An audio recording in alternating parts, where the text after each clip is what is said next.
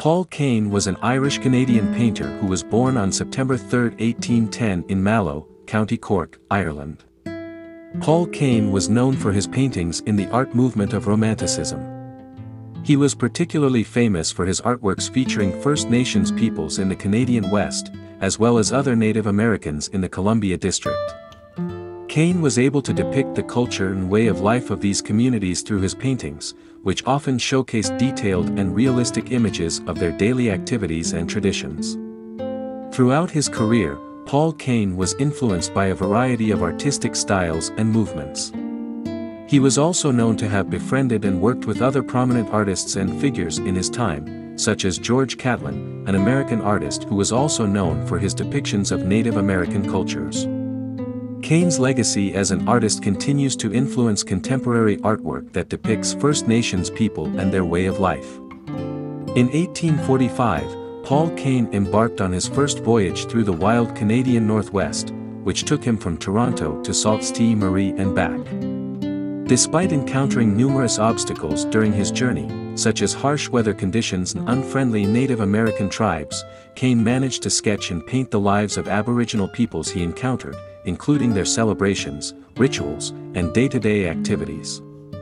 He later undertook a longer journey from Toronto across the Rocky Mountains to Fort Vancouver and Fort Victoria.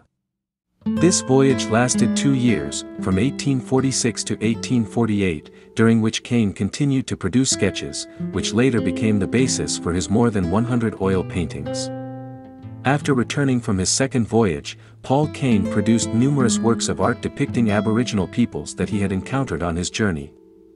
These works, particularly his field sketches, are still a valuable resource for ethnologists.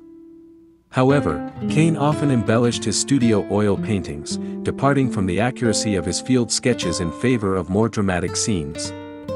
His work has become part of Canadian heritage. In 1851, he was awarded a gold medal by the Ontario Society of Artists for his work.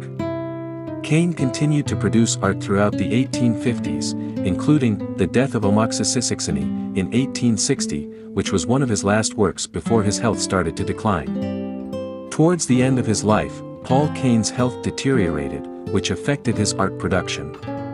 However, he still produced a few works of art, including Assiniboine Hunting Buffalo in 1865.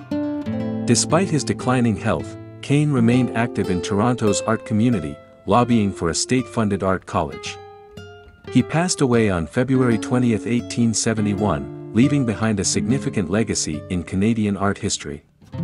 Kane's art has since been displayed in various institutions, including the Royal Ontario Museum and the National Gallery of Canada.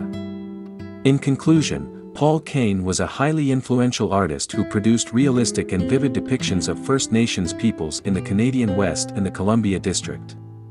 He was able to capture the daily activities and unique cultural traditions of these communities with incredible detail and accuracy, which have made his works an invaluable resource for ethnologists. Kane's legacy as an artist continues to inspire and influence contemporary artwork that depicts First Nations people and their way of life. Despite facing obstacles and challenges throughout his life, Kane remained dedicated to his craft and produced a significant body of work that has become part of Canadian heritage.